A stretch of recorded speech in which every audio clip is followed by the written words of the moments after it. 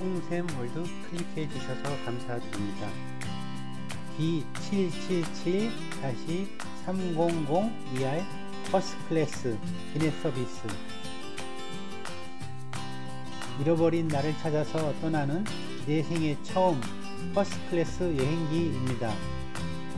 재벌 회장, 대기업 임원들만 이용할 줄 알았던 비행기당 12석 중인 1등석 항공권을 거머쥐고 잃어버린 나를 찾아서 떠나는 내 평생 처음 퍼스트 클래스 여행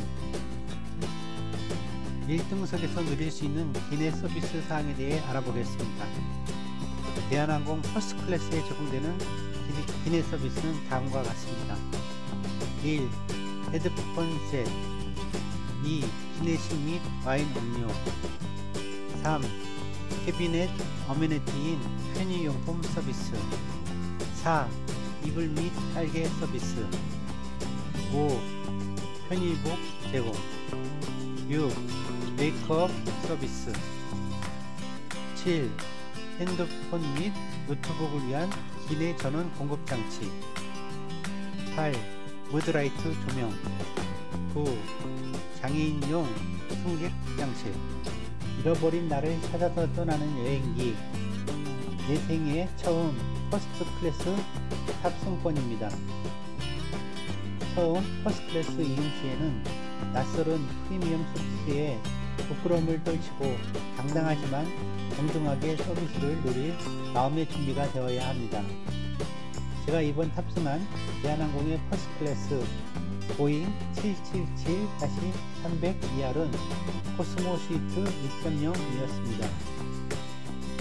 코스모 스위트 2.0이 좋은 건 로봇 타입으로 문을 닫아서 개인 프라이버시 공간을 만들 수 있다는 점입니다. 처음 퍼스트 클래스 좌석에 앉자마자 당황스러운 상황이 발생했습니다. 좌석에 여러가지 기능에 버튼이 많아서 침대 버튼을 눌렀는데 일어날 수가 없었습니다.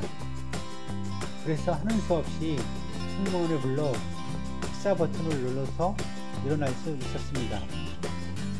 좌석에 여러 버튼이 많은데 다른 것은 크게 어려움이 없지만 침대 버튼과 식사 버튼으로 리셋되는 것은 반드시 알아두면 당황스러운 장면을 일을 미연에 방지할 수 있습니다.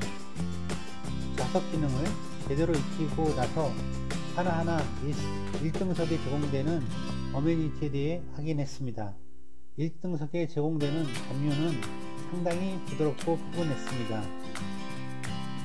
대한항공의 잠옷은 부드러울 뿐만 아니라 허리가 아주 잘 늘어나는 장점이 있어 여성분들에게 입소문이 나서 임산부용으로 많이 활용되어 아주 인기가 많으므로 반드시 득템하여야 할 핫 아이템입니다. 물론 사용 후 가져갈 수 있습니다. 1등석 어메니티 휴대용 편의용, 휴대 편의용품 파우치로도 불리는데 파란색으로 포장되어 안에는 치약, 칫솔 등 세면용품, 안대, 주걱 등이 있고 기내에서 사용하기 위한 프랑스 명품 퍼프마우스 아틀리에 포롱에 퓨어 퍼프향이 함유된 페이스크림, 바디로션, 핸드크림, 애프터셰이브, 립밤 등이 들어있습니다. 핸드크림과 립밤은 여행 중에 요긴하게 잘 사용했습니다. 가장 중요한 방송 청취용 헤드셋은 보스 제품으로 퀄리티가 짱으로 소장하고 싶을 정도였습니다. 아쉬웠지만 기념품으로 가져올 수는 없었습니다. 이륙 전 안내 기상 안전 방송도 요즘 유행하는 랩 타입으로 안내해서 다들 집중하여 볼 수 있어 보았습니다. 후 비행기가 정상 운항 상태에 이르자 물 한 잔과 어머님과 나왔습니다.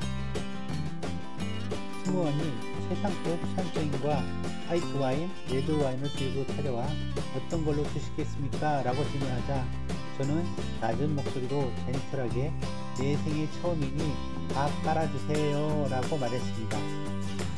혹시 외국 항공사라면 영어로 All of them please 하면 됩니다. 해보지 않고 도저히 안 될 거라고 염려할 필요는 없습니다. 이번이 잃어버린 나를 찾아서 내 생애 처음 퍼스트 클래스인 만큼 정중하게 서비스를 받으면 된다고 생각했습니다.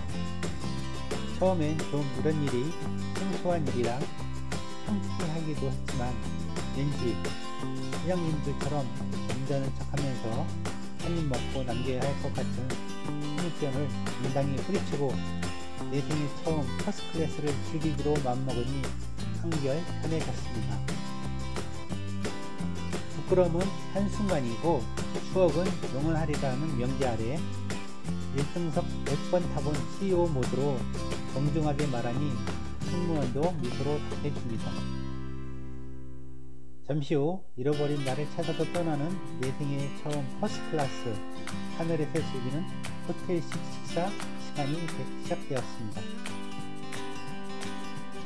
1등석의 가장 큰 차별화 특권 중 하나는 기내식입니다.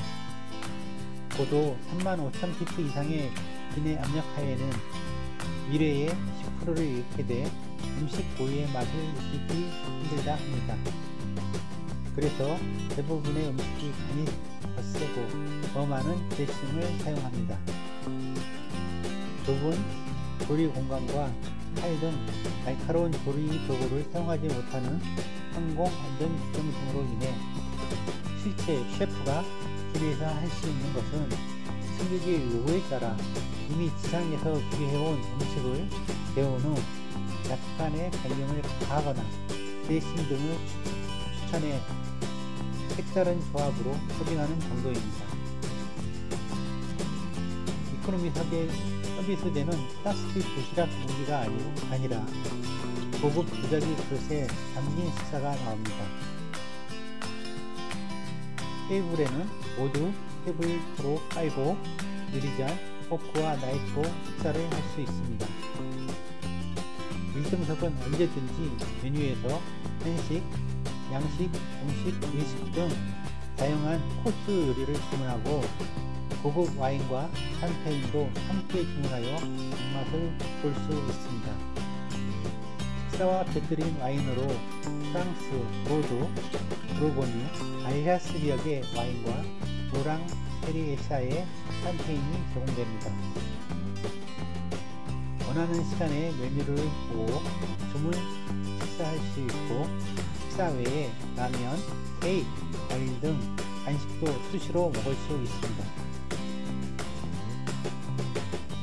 코스별로 나오는 한식 정찬 테이블이 가득 차 먹음직스러워 보였습니다. 후식은 신선한 계절 과일로 과일은 원하는 대로 주문이 가능했습니다.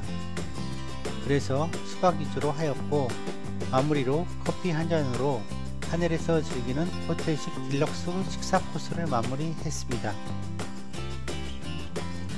식사 후 대한항공 기내 엔터테인먼트 시스템을 이용하여 영화를 시청하였습니다.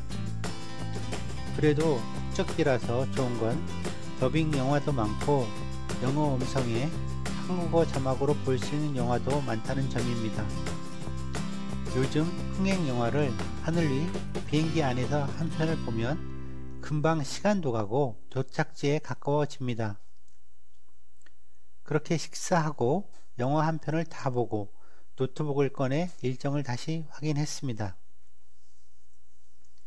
테이블이 넓으니 노트북 작업하기도 편리합니다.